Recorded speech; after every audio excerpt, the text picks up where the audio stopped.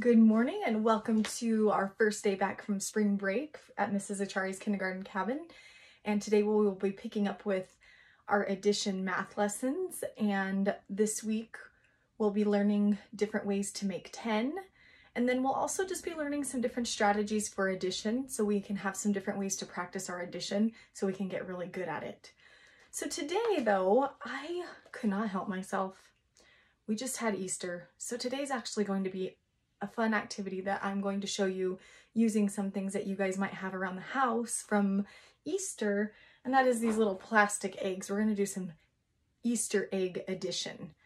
So before we do that though, I'd also like to just show you really quickly something new that we're going to be doing this week at the beginning of each lesson.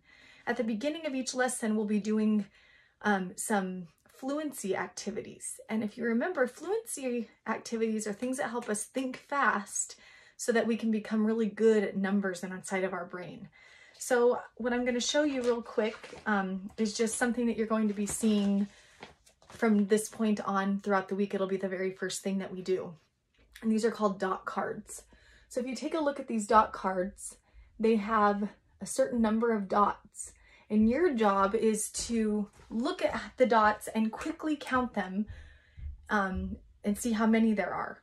So I'm going to show you these particular cards today because there's a certain way that you can teach your brain to look at them.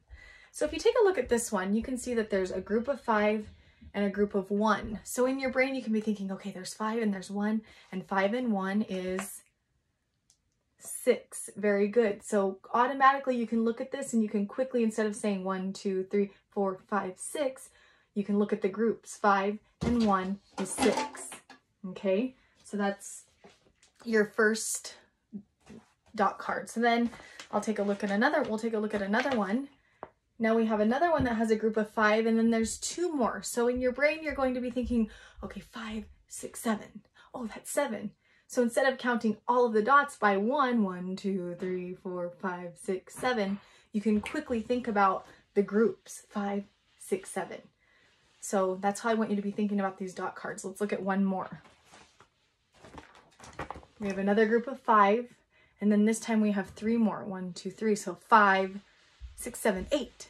So instead of saying one, two, four, five, six, seven, eight, we're going to think of it think of it as five and three is eight. So that's something you can look forward to for the rest of the week. Alrighty, now it's time for some Easter egg addition. Okay, so what I have done is I've collected my materials. If you are going to do this with me at home, you'll need a piece of paper or a whiteboard to write your addition sentences on. And then I have the eggs in the cup and I'll show you what I've done. I have broken up five eggs into tops and bottoms. So in this cup are the tops and in this cup are the bottoms. So I drew dots from one to five on each top and I've drew dots from one to five on each bottom. So there's one and then you'll and it goes all the way up to five. There's another one that has two, there's one that has three, there's one that has four, and there's one that has five.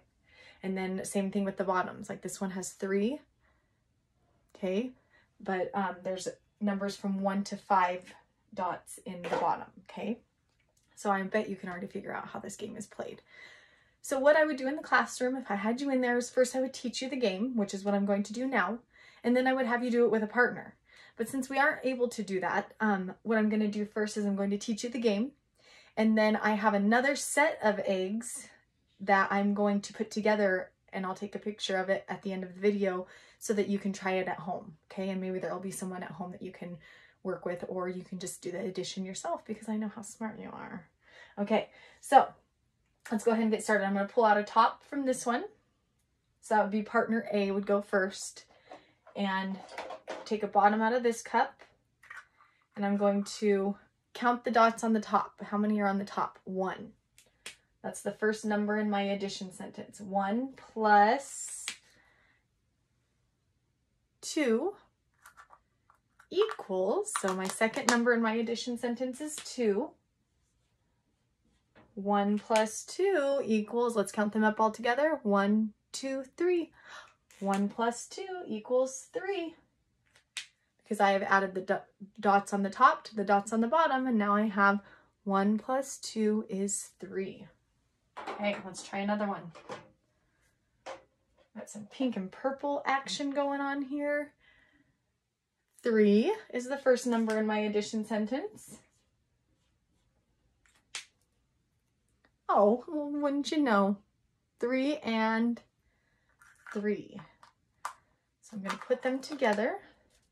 Three is the second number in my addition sentence. Three plus three equals, let's count them up all together. One, two, three, four, five, six. Three plus three equals six. Next one. Ooh, this is going to be a big one. One, two, three, four, five dots on the top. And wouldn't you know, I got the other yellow. And then there's one, two, three, four on the bottom. Let's put it together and count them all up and see how many we have. One, two, three, four, five, six, seven, eight, nine. Five plus four equals nine. Okay, let's try another one. Two plus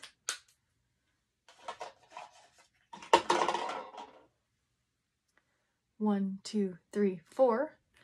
Two plus four equals one, two, three, four, five, six. Two plus four equals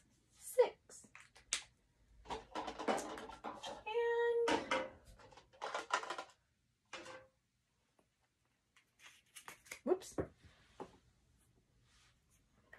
Three on the top and one, two, three, four, five on the bottom. So our addition sentence is going to be three plus five equals, we're going to add them all together. One, two, three, four, five, six, seven, eight. Three plus five equals eight. Okay. So if you did make this game at home, all you would have to do is break those apart and put them in the separate cups again and you could play with someone again and the addition sentences would probably change because you could put different tops with different bottoms. But so I just made an extra set so we could just hurry and get to it. Okay, so this is what we're going to do now. As I said, if we were in the classroom, I would have these made for all of you and I'd pass them out and you could play with a partner. But since I don't have that done, or I don't have the opportunity to be with you right now, we're going to kind of do the same thing. Together, we'll put them together, and then at the end of the video, I'll take a picture of it so that you can practice it at home. You can try to, you can practice the addition problems at home, okay? So, let's see here. We've got a pink and a purple. So remember, when I send, when I show you the picture of these, when you get at your house, remember that you're adding the top to the bottom. Okay, so there's the first one. Five plus one. Let's see. Oh, we've got another pink, different kind of pink with a purple. So our top number is four and our bottom number is two. So it's going to be four plus two. I'm not going to tell you, I just kind of wanted to review that. So now I'm just going to show you, take a picture and let you try these at home, okay? Now we have two on the top and three on the bottom.